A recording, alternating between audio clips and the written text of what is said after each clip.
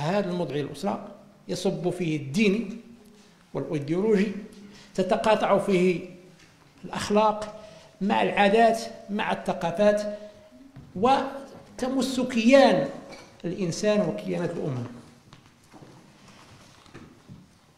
غير أن بلادنا والحمد لله لها ميزة تتميز بها على باقي البلدان وهي كونها ليس فقط بلدا إسلاميا حريصا على الحفاظ على هويته.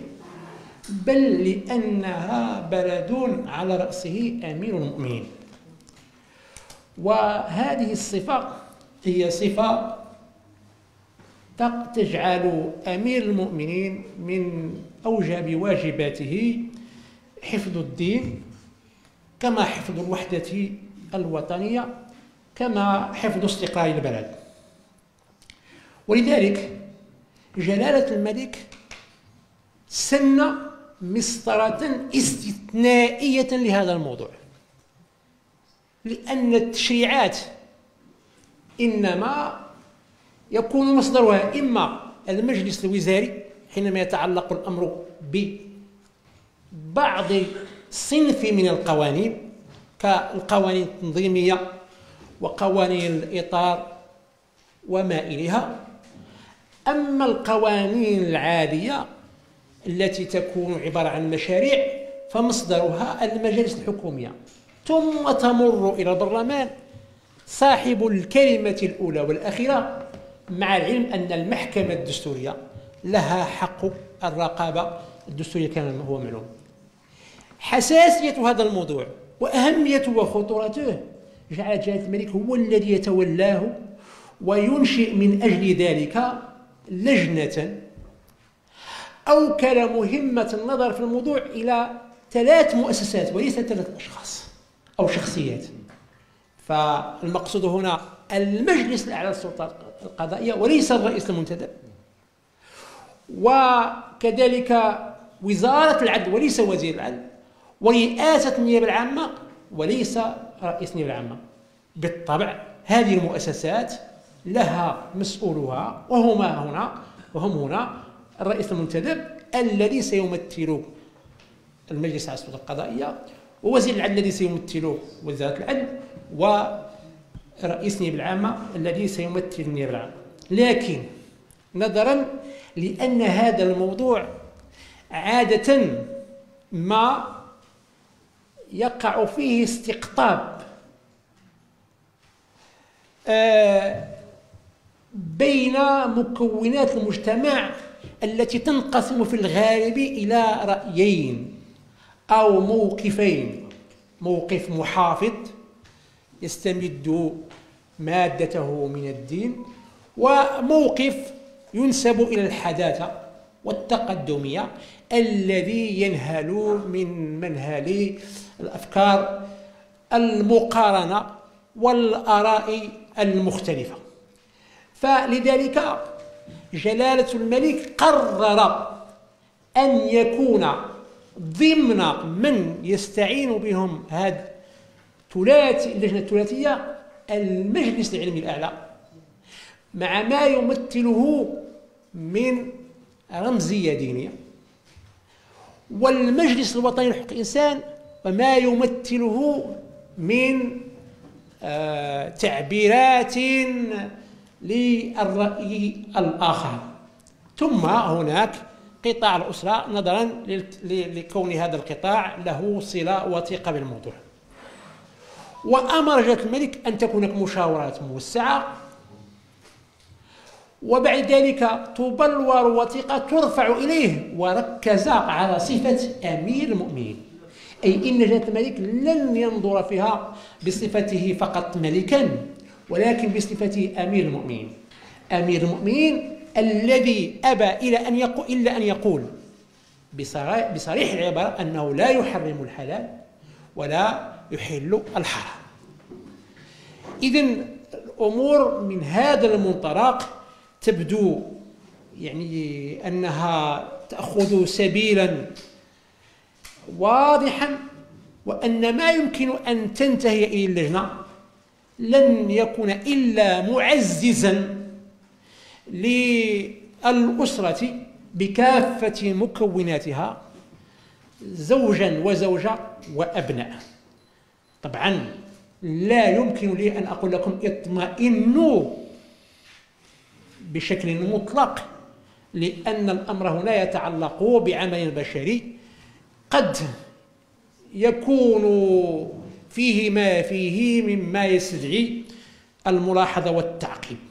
ولكنني من الناحية المبدئية جد مطمئن مع كل حذر لازم. وبالطبع فإن جلالة الملك في الرسالة التي وجهها إلى رئيس الحكومة بين لماذا اعتمد هذا الثلاثي المؤسساتي قال نظرا للأبعاد القانونية والقضائية في هذا التعديل. حضور الأبعاد القانونية والقضائية في هذا التعديل اقتضت هذا التكليف. وبالطبع فإن هذه المنهجية هي بخلاف المنهجية التي كانت في المرحلة السابقة مرحلة مدونة الأسرة حيث كانت هناك لجنة واسعة وتتكون من حيثيات فكرية مختلفة وأدت إلى أن يكون هناك صراع فكري كاد أن يعصف باللجنة. واقتضى الأمر تغيير الرئيس الأول وتعيين رئيس ثاني لهذه اللجنة وأخذ النقاش وقتا ليس بالقصير.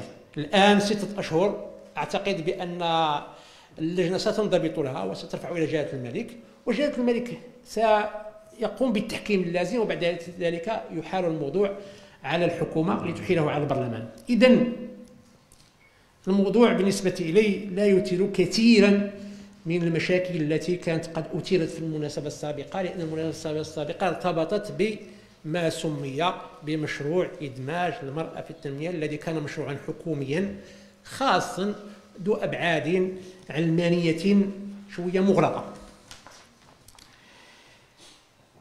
لذلك يمكن أن نقول بأن في المغرب كنا وما زلنا نطور ذاتنا ونصلحها بمنطق معتدل. وأنجزنا ما أنجزنا مما يمكن أن نعتز به من خلال سلوك المنهج الوسطي. ولذلك من المفيد أن نتمسك بهذا المنهج الوسطي وأن لا نحيد عنه. قلت وأقول من أراد أن يكون في سلك المحافظين الملتزمين من المسلمين أو سميهم الإسلاميين فله ذلك ولكن عليه أن يأخذ الأمر بشيء من الاعتدال. كما أن من أراد أن يكون حداثيا أو علمانيا فمطلوب منه أن لا يذهب بعيدا لأنه إزاء مجتمع مسلم متشبت بدينه ويريد أن يعيش ضمن القيم الإسلامية السمحة كما أن الأمر يتعلق بنظام دولة لا يسمح بالانفلات الذي يطالبه به البعض كما أن البعض الآخر يتوجس منه. ولذلك ينبغي أن نؤكد على آه، منهج التوافق كمنهج خلاق يقدم ولا يؤخر يصلح ولا يفسد. وأريد بالمناسبة أيضا أن أؤكد على أن مدونة الأسرة كثيرا ما قيل عنها أشياء غير صحيحة وغير واقعية. مشكلة الأسرة المغربية لا يمكن معالجتها بالقانون. فحسب. القانون مفيد والقانون ينبغي تجويده والقانون ينبغي تحسينه. هذا مما لا شك فيه. لكن لا ينبغي أن نعول على القانون وحده في إصلاح الأسرة. الأسرة أيها الإخوة والأخوات تصلح بالأخلاق. وأقول بالأخلاق أكثر مما تصلح بالقوانين. وأؤكد هنا أننا حينما نتزوج نتزوج بشيء من القانون هذا صحيح ولكن بكثير من الأخلاق. ونتفارق ونتطالق بالقانون ولكن ينبغي أن يكون بالأخلاق أكثر من القانون. إمساك المعروف أو الإحسان. أما بين الزواج والطلاق فالمعاشرة لا يجوز لا يمكن أن نتصور أن القانون كفيل بضبطها وبالنهوض بها. إنما هي الأخلاق هي الكفيلة بأن تجعل المعاشرة بالمعروف كما أن الأخلاق هي القادرة على أن تجعل من الفرقة بمعروف. بعد هذا أيها الإخوة والأخوات أحب أن أتحدث في موضوع في غاية الأهمية وأرجو الانتباه إليه وأرجو أن يتم تحرير هذه السبورة حتى تستطيعوا تتبع المعطيات النصية التي سوف أتعرض إليها وهو على الخصوص. هذه خصها تفهم أن هناك التيار الإسلامي وكاين التيار العلماني. وأعتقد وسيظهر لكم ذلك جليا أن التيار الإسلامي حينما يتنكر للاتفاقية الدولية في عمومه فهو في ذلك يتنكر عن خطأ. والتيار العلماني إذ يستدل بالاتفاقيات الدولية بشكل مطلق وبدون تدقيق للموضوع فهو أيضا في ذلك مطلق. ما هو الحق الذي ينبغي أن نقف عليه من خلال المقتضى الدستوري والمقتضى الاتفاقي؟ أولا ينبغي أن نتفحص الدستور. ماذا يقول عن الاتفاقية الدولية؟ إذا ذهبتم إلى الدستور ستجدون ثلاث مواقع تحدث فيها الدستور عن موقع الاتفاقية الدولية. أولا التصدير. فماذا قال فماذا قال الدستور في التصدير؟ الدستور يقول عن اتفاقية الدولية في التصدير ما يلي. يعني في الديباجة يقول الدستور جعلوا الاتفاقيات الدولية. شوية. كما صادق عليها المغرب. آه اسمح لي. شوية جعلوا الاتفاقية الدولية كما صادق عليها المغرب وفي نطاق أحكام الدستور. وثوابت المملكة وهويتها الوطنية الراسخة تسمو فور نشرها على التشريعات الوطنية والعمل على ملائمة هذه التشريعات مع ما تتطلب هذه المصادقة. أرجو التأمل هنا. في هذا النص لأنه دستور المملكة الذي يؤطر هذا الموضوع تأطيرا دقيقا. جعلوا الاتفاقية الدولية كما صدق على المغرب. إذا الاتفاقية الدولية لا تؤخذ كمادة خام لا تؤخذ كما وضعتها يعني الأمم المتحدة في نصها الأصلي. إنما تؤخذ في المغرب وفي جميع الدول أقول لكم في جميع الدول. كما صادقت عليها الدولة المعنية. إذا الدستور لا يقول نجعل اتفاقية الدولية؟ أنها لها الأولوية والأسبقية. يقول لك كما صادق على المغرب وسأقف على هذا كما صدق على المغرب ماذا تعني؟ وفي نطاق أحكام الدستور وقوانين المملكة وهويتها الوطنية الراسخة تسمو فوق نشرها فوق نشرها على التشريعات الوطنية. عندنا هنا مرحلتين. مرحلة المصادقة ينبغي أن تكون في نطاق أحكام الدستور وقوانين المملكة والهوية الوطنية الراسخة. إذا مرحلة المصادقة ينبغي أن تنظر في هذه الأمور. وهنا المصادقة كما صدق إما أن لا نصادق لماذا؟ لأن هذه الاتفاقية تتصادم مع الهوية الوطنية وقوانين المملكة وأحكام الدستور. أو نصادق بدون تحفظ لأن هذه الاتفاقية تتوافق بالمطلق مع أحكام الدستور وقوانين المملكة وهويتها الوطن الراسخة أو نتناول الاتفاقية وندقق في نصوصها ونتحفظ على ما ينبغي التحفظ عليه. والتحفظ يكون بعبارة عبارة تحفظ وب أيضا عبارة بيان تفسيري. وكلاهما يعتبران تحفظان. ماذا يعني التحفظ؟ التحفظ أصله هو أن هناك ما يسمى بدستور الاتفاقية الدولية وهي اتفاقية ديال 69 اتفاقية ديال 69 اللي هي اتفاقية فيينا هذه الاتفاقية هي التي تعتبر دستور الاتفاقيات. أي إنها تنظم ما يسمى بالممارسة الاتفاقية. كيف؟ توافق الدول وبأي ما هي الصيغة إلى غير فتعطي هذه اتفاقية فيينا عقلوا عليها مزيان تعطي للدول الحق في أن تتحفظ على الاتفاقيات التي ترى على البنود على بنود الاتفاقيات التي ترى أنها لا تتلائم مع هويتها. الوطنية أو مع بعض معطياتها يعني القومية. وهناك بعض الاتفاقيات التي تمنع التحفظ. وهناك بعض الاتفاقيات التي تبيح التحفظ في بعض آه، المستويات وتمنع التحفظ في مستويات أخرى داخل نفس الاتفاقية.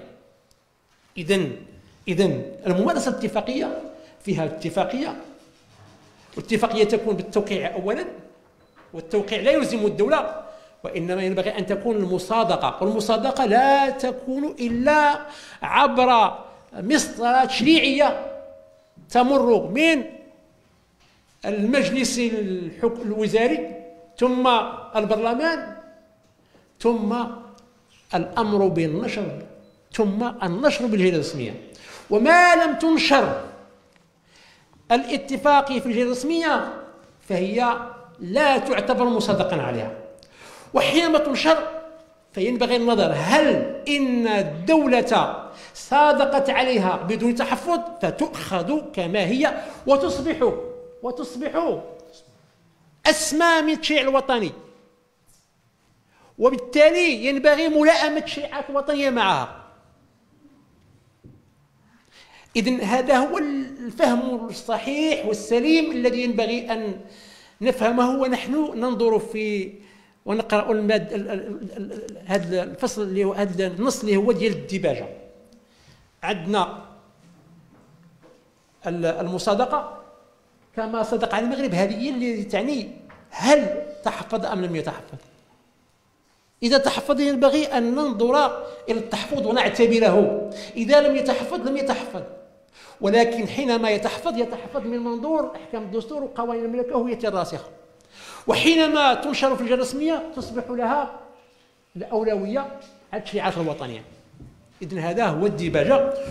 وهذا هو نفسه يعني ما جاء في المادة 19 التي تهم المساواة بين الرجل والمرأة. لاحظوا أنه بالنسبة للمساواة بين الرجل والمرأة كما ورد في المادة 19 يقول الدستور يتمتع الرجل والمرأة يتمتع الرجل والمرأة على قدم المساواة بالحقوق والحريات المدنية والسياسية والاقتصادية والاجتماعية والثقافية والبيئية الواردة في هذا الباب من الدستور وفي مقتضيات أخرى وكذا في الاتفاقيات والمواثيق الدولية وكذا في الاتفاقيات والمواثيق الدولية.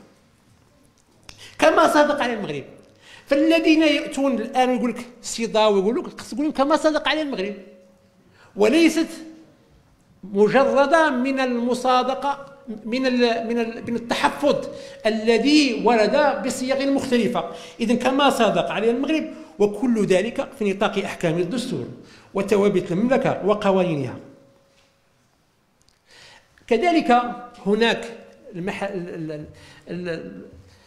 الفصل الأخير الذي أشار إلى الاتفاقية الدولية ويمكن أن يكون مصدر إلهام لنا ونحن نناقش الموضوع وهو الفصل 161 الفصل 161 الذي يقول المجلس الوطني لحقوق الإنسان مؤسسة وطنية تعددية ومستقلة يتولى النظر في جميع القضايا المتعلقة بالدفاع عن حقوق الإنسان والحرية وحمايتها وذلك في نطاق الحرص التام على المرجعيات الوطنية والكون في هذا المجال. لاحظوا أن المجلس الوطني لحقوق الإنسان من واجبه أن يلتزم أولا بالمرجعيات الوطنية عادة الدولية.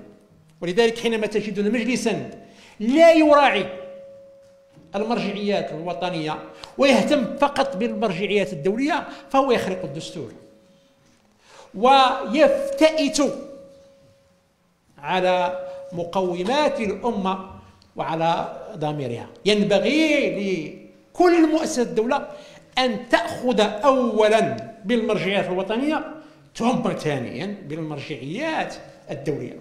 ولكن أحيانا يكون هناك تصادم فهنا ننظر في أولا ما ليس فيه تصادم ينبغي أن نأخذ به وما فيه تصادم وتناقض فلا يجوز أن نعتمد فيه المرجعية الدولية على حساب المرجعية الوطنية. إذن هذا هو الإطار العام.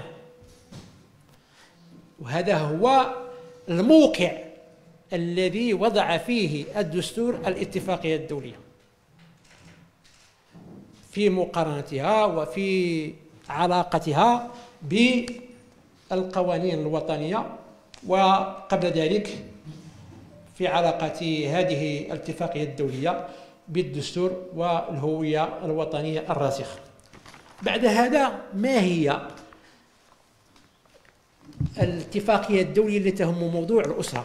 أهم أهم اتفاقية هي اتفاقية سيداو وهذا الكتاب اللي هو الاتفاقية الأساسية في مجال حقوق الإنسان التي يعد المغرب طرفا فيها هو فيه طبعتان. طبعة قبل من 2019 يمكن نقولوا كانت واحد للأسف الشديد أوردت فقط الاتفاقية الدولية مجردة عن التحفظات. ولما أصبحت مسؤولا أول عن حقوق الإنسان في المغرب طبعا بعد جلالة الملك لأن جلالة الملك هو الحامي الحقوق والحريات وأصبحت مسؤولا عن المندوبية الوزارية طلبت بإعادة طبع هذا الكتاب لكن إضافة كل تحفظات مع الاتفاقيات. لأن المغرب لم يأخذ بالاتفاقيات بشكل مجرد أو كمادة خام إنما أخذ ما أخذ دون تحفظ وأخذ ما أخذ ببعض التحفظ وأقول بعض التحفظات. ما يهمنا هو صداو شنو هي صداو صداو هو الاتفاقية الخاصة بالقضاء على جميع أشكال التمييز ضد المرأة. باش تفهموا التحفظات علاش التحفظات؟ لأن النص هو نص عالمي. نص عالمي. ويراد أن تأخذ به جميع الدول. ومعلوم أن النصوص ديال حقوق الإنسان هي فيها كثير من الحكمة الإنسانية وهي عصارة الفكر الإنساني. ما هيش يعني مئة في المئة تعكس رأي أمة من الأمم دون الأمم الأخرى. لا ليس هذا صحيحا بالضرورة وبالإطلاق. هي خاضعة لتطور وتطور يعني انعكس في على هذا المستوى ديال هذه النصوص. لكن أيضا ينبغي أن نقول بأن كاين موازين القوى وموازين القوى الآن لفائدة الغرب. وبالتالي فإن هذه الاتفاقيات تعكس إلى حد كبير التوجه الغربي العام. ولذلك أتيح للدول أن تقول حينما تصادق بأن هذا النص لا يتفق مع هويتي لا يتفق مع دستوري لا يتفق مع مقوماتي. فماذا قال المغرب بالنسبة للاتفاقيه التي تعالج موضوع حساس وهو موضوع العلاقة ديال الرجل والمرأة؟ المغرب اولا كان قد وقع الاتفاقيه في سنة 93 ولكن كما قلت لكم التوقيع هو غير بداية مسلسل طويل. النشر ديال هذه الاتفاقية كان في آه 18 يناير 2001 نشرت هذه الاتفاقية في الجريده الرسمية في 18 يناير 2001 وكانت معها مجموعة من التحفظات والإعلانات. مجموعة من التحفظات والإعلانات التي همت الاعلانات كانت على المادة واحد. وكذلك عفوا عفوا عفوا كانت على المادة جوج. وكذلك على المادة 15 وكان هناك تحفظات على المادة 19 و 16 والمادة 29 غير أن المغرب لما ندخل معكم في التفاصيل لأن كان كان عندي الوقت غادي ندخل معكم في التفاصيل والدقائق. ماذا قال المغرب وكيف غير موقفه في 2011 2011 المغرب أعلن عن أنه يتنازل عن تحفظه على المادة 19 وتحفظه على المادة 16 وأبقى على إعلان تفسيري على المادة الثانية وإعلان تفسيري على الفقرة 4 من المادة 15 وإعلان تفسيري أو تحفظ تحفظ عفوا على المادة 29 فقرة 3 إذا خلى ثلاثة الأمور إعلان تفسيري أو تحفظ هنايا ما هو الإعلان التفسيري الأول؟ الإعلان التفسيري الأول هو كان عن الماده جوج. المادة جوج ماذا تقول؟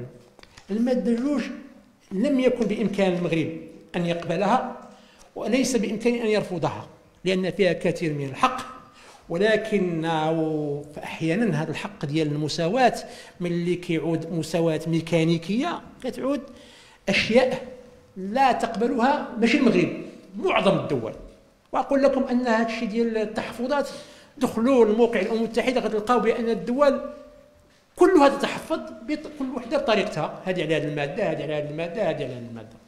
المغرب تحفظ على هذه المادة اللي غنقول لكم. نقرأ عليكم ونقول لكم أشنو قال التحفظ. المادة جوج غتلقاو فيها شوية كثير من الحق.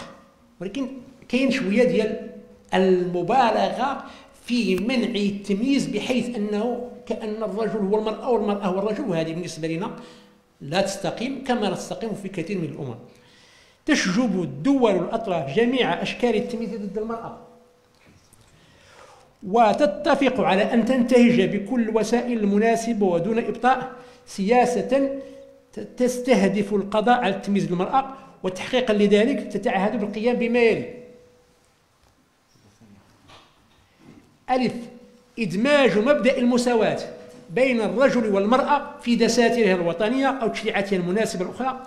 إذا لم يكن هذا المبدأ قد أدمج فيها حتى الآن وكفالة تحقيق العمل لهذا المبدأ من خلال التشريع وغيره من الوسائل المناسبة. هذا نص ما تقدرش تقبليه بإطلاق لأن خاص المساواة. ما تقدرش ترفضيه بإطلاق لأنه ثاني ماشي المساواة المطلقة. باء اتخاذ المناسب من التدابير التشريعية وغير التشريعية بما, بما في ذلك ما يناسب من جزاءات لحظر كل تمييز ضد المرأة. تحضر كل تمييز المرأة. هذا أمر صعب جدا. ونقول لكم صعب جدا ويكاد أن يكون مستحيل. الأمم المتحدة هي صاحبة هذا النص. ياك. هي صاحبة هذا النص. متفقين؟ الأمم المتحدة. هل الأمم المتحدة عمر كان شي شي أمين عام ديالها امرأة؟ لم يكن. علاش؟ والدول هي التي صادقت. والدول الكبرى هي التي تصنع الأمن العام. باش نقول لكم راه هي أمريكا وبريطانيا وفرنسا الدول هي ألمانيا. لأنه تطور بشري باقي ما وصلش لمستوى تكريس هذه المساواه المطلقة. اللي عطى الله؟ كنعطي مثال. الولايات المتحدة لم تشهد رئيسه اقصى ما وصلت إليه. المرأة هي أن نائبة الرئيس لأول مرة في هذه المرحلة. فرنسا. وما أدراك ما فرنسا. هل إن رئاسة الدولة الفرنسية وصلت إليها المرأة؟ أبدا. لكن هناك دول اللي وصلت فيها المرأة إلى الرئاسة ونجحت و و و و. إذا كل أمة عندها خصوصياتها وعندها مساراتها وعندها وعندها. فلذلك لا ينبغي أن يعني يكون هناك واحد قفز إلى في الفراغ إلى الأمام بدون روية وبدون تمهل. كتقول جيم فرض حماية قانونية لحقوق المرأة على قدر المساواة مع الرجل وضمان الحماية الفعالة للمرأة عن طريق المحاكم ذات الاختصاص والمؤسسات العامة الأخرى في البلد من أي عمل تمييزي. معقول؟ الامتناع عن مباشرة أي عمل تمييزي أو ممارسة تمييزية للمرأة وكفالة تصرف السلطات والمؤسسات العامة بما يتفقها الالتزام. قول بالعكس إحنا راه عندنا ما يسمى أحيانا التمييز الإيجابي. التمييز الإيجابي هو اللي كاين الآن في البرلمان. كنعطيو واحد اللائحة للنساء. أنا فاش كنت مسؤول إلا لقيت امرأة وراجل جابوا نفس النقاط في وظيفة من الوظائف كنقدموا امرأة. لأنه كنقولوا خاصنا ندفعوا بالمرأة إلى الأمام ولكن ما غنجيبوش امرأة من القاع. ونقولوا أننا نديروها هي الرأس لأن المراه هذا إساءة للمرأة. هذا إساءة للمرأة. وهذا موضوع بلا ما ندخل في التفاصيل فيه. اذا بلا ما نقرأ عليكم النص كله النص هذا ليس بالإمكان رفضه كله وليس بالإمكان قبوله كله. لذلك جدل المغرب. المغرب دار فيه إعلان هو اللي خاصكم تسمعوه مزيان. هذا الإعلان ماذا يقول؟ يقول الإعلان على المادة الثانية اللي قريت لكم. تعلن المملكة المغربية عن استعدادها لتطبيق هذه المادة شريطة ألا تخل بالمقتضيات الدستورية التي تنظم قواعد توارث عرش المملكة. لأن عرش قواعد عرش المملكة ينظمها الفصل الثالث والأربعون من الدستور. والفصل الثالث والأربعون من الدستور المغربي يقول إن عرش المغرب وحقوقه الدستورية تنتقل بالولاية إلى الولد الذكر الأكبر سنا من ذرية جلالة الملك محمد السادس ثم إلى ابن الأكبر سنا وهكذا ما تعاقب إذا المملكة المغربية تقول بأن هذا مقتضى لا يمكن تجاوزه. وأنا قلت وأقول وستتعجبون. تعرفون بأن بريطانيا نظامها البرلماني قائم علاش جوج مؤسسات. العموم واللوردات اللوردات هل تعلمون أن ما فيهم تمرة شحال العدد؟ 600 وكذا ديال اللورد ما فيهم تمرة فلا كل أمة عندها معطياتها وعندها خصائصها وعندها مميزاتها وعندها هويتها. إذا هذا الأول التحفظ الأول عن طريق الإعلان. الإعلان الثاني وتأمنوا فيه مزيان. ولهذا أدعو المنتسبين إلى سلك المحافظة. كما أدعو المنتسبين إلى سلك الحداثة أن يتأملوا. في هذا الذي سوف أتلوه عليكم اللي هو إعلان تفسيري. ألا تكون المملكة المغربية تقول أنها توافق على المادة جوج شريطة ألا تكون منافية لأحكام الشريعة الإسلامية. علما بأن بعض الأحكام الواردة في مدونة الأحوال الشخصية اللي كان سابقا تعطي للمرأة حقوقا تختلف عن حقوق الحقوق المخولة للرجل لا يمكن تجاوزها أو إلغاؤها. وذلك نظرا لأنها منبثقة أساسا من الشريعة الإسلامية التي تسعى من جملة ما تسعى إليه إلى تحقيق التوازن بين الزوجين حفاظا على تماسك كيان الأسرة. إذا أنت أيها الإسلامي المحافظ لماذا تتسرع وترفض اتفاقية صداو التي صادق عليها المغرب مع هذا التحفظ والتي لا يمكن أن ننظر إليها إلا من خلال التحفظ؟ وأنت أيها الحداثي لماذا تتسرع؟ وتقول ينبغي أن نطبق اتفاقية صداو دون أن تستحضر أن هذه الاتفاقية عليها هذا التحفظ. صحيح كان هناك اضطراب في سنة 2011 لأنه تم رفع التحفظ على المادة 16 وأنا في تقديري أنه كان هناك ماشي اضطراب كانت اضطرابات أخرى وهذا هو الذي خلق نوع من الارتباك. للأسف الشديد الكثيرون يقولون أنتم يعني الحكومة التي كنت أنتسب إليها صادقتم على اتفاقية صداو لا لم نصادق على اتفاقية صداو اتفاقية صداو صودق عليها في 2001 وكانت هناك تحفظات شاملة بل مبالغ فيها أنا أقول مبالغ فيها. و2011 تم تنقيح هذه التحفظات بطريقة شوية مرتبكة. ما صادقنا عليه وما أنا استشرت فيه ووافقت عليه هو بروتوكول اختياري اللي هو إجرائي ما عنده علاقة بهذا الموضوع مطلقا. ولكن هذاك هذاك الاتفاق هذاك البروتوكول شنو؟ يعطي للأفراد حق رفع يعني الشكايات للجهات الدولية المعنية والتي يمكن أن تبحث. ولكن حينما تبحث على اتفاقية الصيدا وعلى ضوء التحفظات إذا أين هو بالنسبة إلي؟ أين هو المشكل؟ لا مشكل. متفقين؟ إذا بلا ما نطول معكم أنتم خديتوا نظرة وإلى التفاصيل هي كثيرة لأن الوقت يداهمني. إذا آه كاين عندنا أيضا اتفاقية الطفل لا تطرح أي مشكل. عليها هي واحد البلاغ واحد البيان تفسيري لا تطرح هذيك بالعكس هذيك اتفاقية إسلامية تكاد تكون 100% إذا إذا فهمتم هذا الأمر بالنسبة لي أنا راه تحقق الهدف من مداخلتي.